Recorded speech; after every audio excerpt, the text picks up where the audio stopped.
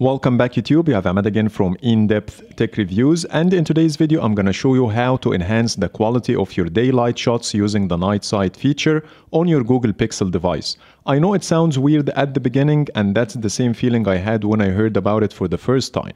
I have been told about this trick in some of the comments I received on my previous videos as you see them now on the screen. So I decided to give it a try and yes it does help in a lot of areas. I will do this experiment on my Pixel 4 XL and that will apply to any Pixel device you are currently using. So let's check how the night sight will enhance your daylight shots. But before getting started, let's make sure you subscribe and hit the bell icon to get notified every time I post a new video. So let's jump in.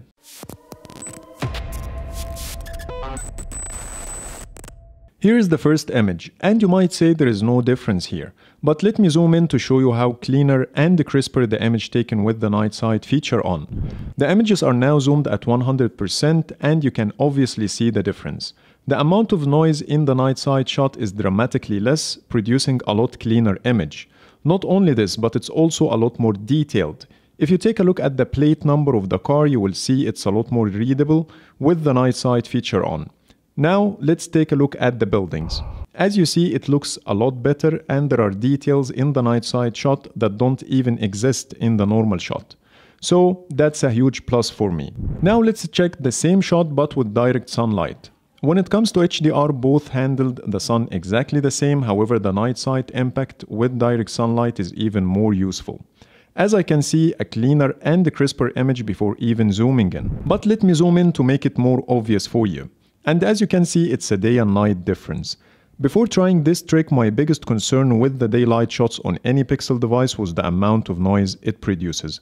However, the night sight feature solves this problem like a pro, which is a very big benefit for me. This is not the only difference you get with night sight. But there are other differences in colors and white balance, so let me show you this.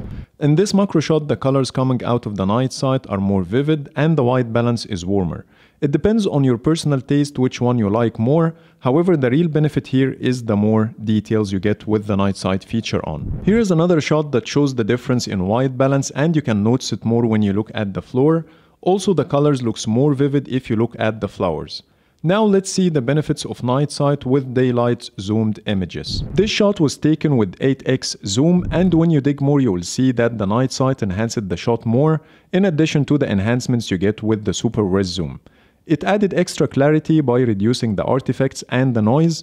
Even without zooming in, you can notice the difference between the two shots. And finally, the selfies. Same findings from the back camera shots apply here.